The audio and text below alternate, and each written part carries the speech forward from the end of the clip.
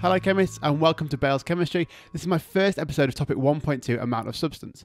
This topic is particularly fundamental to all of chemistry and appears on both paper 1 and paper 2 in your final exams. If you're new to the channel, my videos are here to help make your A-level chemistry that bit easier by providing you exactly what you need to know. If you haven't already, consider hitting the subscribe button so you get to see the videos when they're released. So in this episode, we're looking at the mole and how it links to masses. The mole is a unit of measurement used for measuring out quantities of different substances. It's defined as the number of atoms in 12 grams of carbon 12. It was previously linked to oxygen and hydrogen, and it now has the value of 6.022 times 10 to the 23. Several chemists were influential in establishing what we now know as Avogadro's constant. It was named after Avogadro because of his work on gases. Although the mole can sometimes be seen as a complex topic, it's just a word that's used to describe a number. If you have one mole of something, you have 6.022 times 10 to the 23 of those things. The mole is linked to the relative atomic mass of an element, so if you have one mole of carbon 12, it has a mass of 12 grams. It's the same as the relative atomic mass. And if you have one mole of sulfur, you have 32 grams of sulfur. We can calculate the number of moles of any element using this equation. This can be simplified to n equals m over mr. If you struggle to rearrange the equations, it can be simpler to place them in an equation triangle, allowing you to cover the required value, leaving you with the calculation you need to carry out. It's important that you remember to always put mass in grams into this equation. So we can rearrange the equation to give all three values, that's relative molecular mass, moles, and mass. When it comes to calculating the moles in a solid, we can look at three different examples. In the first example, we're asked to calculate the number of moles in 27 grams of H2O. We'll first take our equation, number of moles equals mass over mR, We'll substitute in the mass of 27 grams and 18, which is the MR for water, to arrive at 1.5 moles of water present in this sample.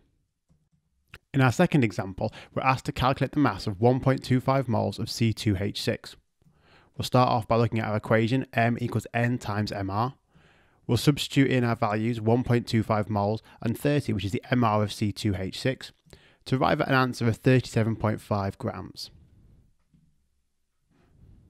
In our third example, we're going to calculate the MR of a compound where 1.3 moles has a mass of 83 grams. To do this, we'll use the equation MR equals M over N.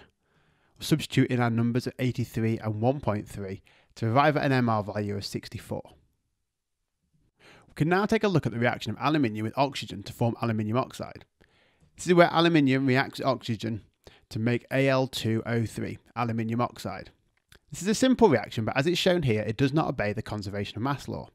This means the mass of the reactants must equal the mass of the products. So we're going to go back to the equation and balance it, adding in more aluminium, more oxygen, and more aluminium oxide. The equation is now balanced and is represented as 4Al plus 3O2 makes 2Al2O3. This balanced equation displays the stoichiometry, which is the ratio of reactants and products in the chemical reaction.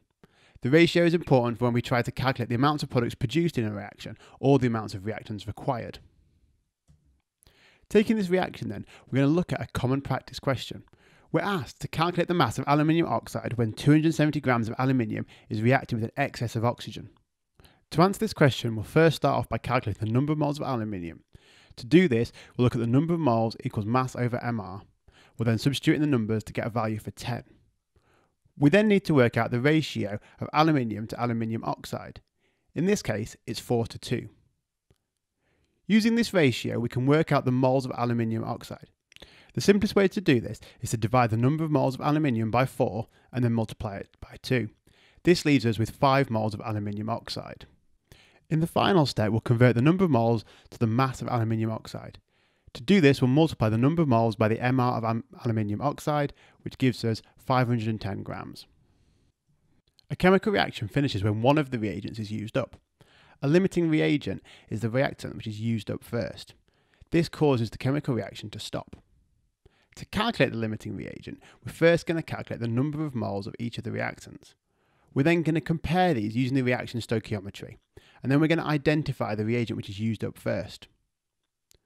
When it comes to calculating the moles of a product formed, we always go off the limiting reagent. We'll look at this reaction as an example of calculating the limiting reagent. We have 0.6 moles of Fe2O3 that's been reacted with 0.8 moles of carbon monoxide, and we're asked to identify the limiting reagent. We're going to first start off by looking at the reactants in the balanced equation. Here we can clearly see that iron oxide reacts with carbon monoxide on a ratio of 2 to 3. So our 0.6 moles of Fe2O3 will need 0.9 moles of CO to fully react.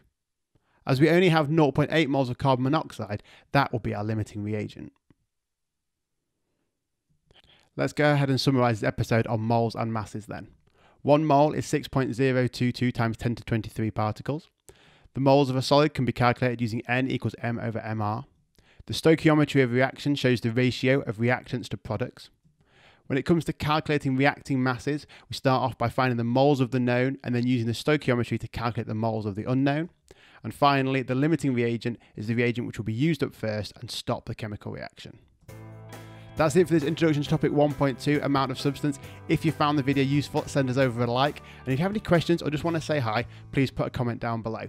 Thanks for watching.